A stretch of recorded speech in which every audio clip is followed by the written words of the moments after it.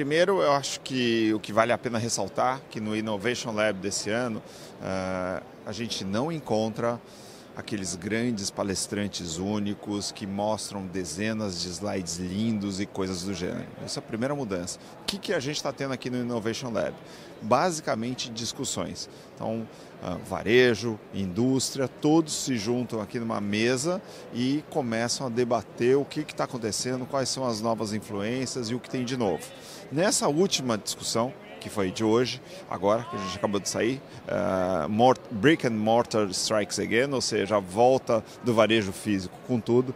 Uh, tivemos aqui a presença de um CEO da PepsiCo, outros da Hold, supermercados, varejo, e algumas pessoas, outros da Craftsman, e, e esse, esse varejo e essa discussão bastante rica, colocando tanto a indústria de um lado quanto o varejo do outro e o quanto eles deveriam, de uma certa forma, se unificar mais para entender e proporcionar uma experiência única para o consumidor. E é isso aí, nesse ano de 2018 a NRF vem com muitas inovações e eu estou aqui com o nosso consultor da Gouveia de Souza, Eduardo Yamashita, Estou sabendo que você acabou de sair de uma palestra, fala um pouquinho para a gente desse conteúdo. Muito bom. A palestra, Pedro, chama Leading with Positivity. Pelo nome parece que é de liderança, mas não é isso.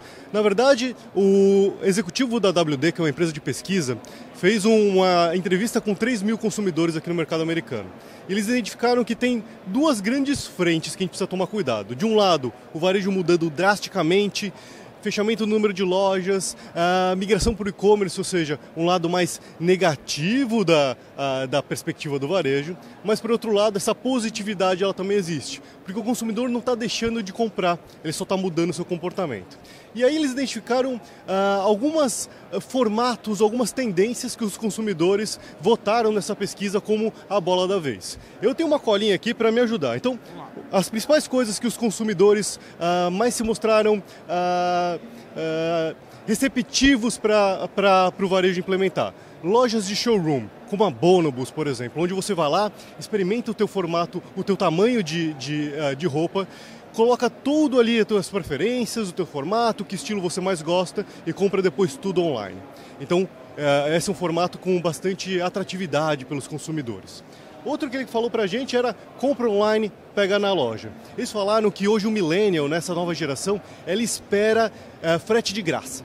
Só que essa conta tem um preço. Então por isso que comprar online e pegar na loja está ah, uh, sendo muito bem recebido por esses consumidores. Eles querem a conveniência do online, mas não querem pagar para receber esses produtos nas suas casas.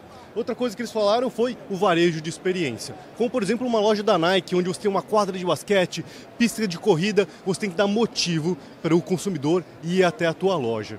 E o último que foi muito bem uh, recebido foi inteligência artificial. Os millennials também, uh, eles, eles, têm um número que 80% dos millennials uh, usam assistente de voz no seu dia a dia. Ou seja, uh, a inteligência artificial, o robô, os algoritmos ajudando na experiência de compra. Então, de uma maneira geral, foi muito interessante para a gente analisar tendências, mostrando mais uma vez que o varejo está mudando. E se a gente não acompanhar junto essas mudanças, a gente vai ficar para trás. Basicamente, usando a tecnologia para levar a pessoa de volta à, à loja e é por isso que eles falam numa retomada do varejo. Você acredita que é uma tendência a parte física virar é, um foco nas estratégias novamente?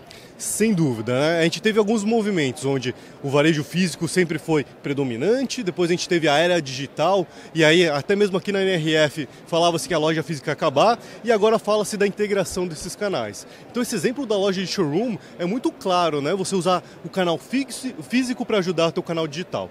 De uma maneira geral, eles estavam comentando que a medição de performance de lojas, como a gente fazia anteriormente, que era só venda, margem, número de pessoas, ela mudou. A gente não pode medir mais as lojas dessa forma. Agora, quando você abre um ponto físico, por exemplo, o tráfego do teu site uh, daquela região aumenta 52%. A gente tem que levar isso em conta também. Então, essa integração de canal, obviamente, veio para ficar e é a bola da vez na NRF desse ano. Até mesmo porque você individualiza o serviço e traz a pessoa para aquela sensação especial de que está sendo atendida. Eu acho que essa é fundamental. Então é isso aí, essa é a NRF 2018 e a gente volta com muito mais. Obrigado.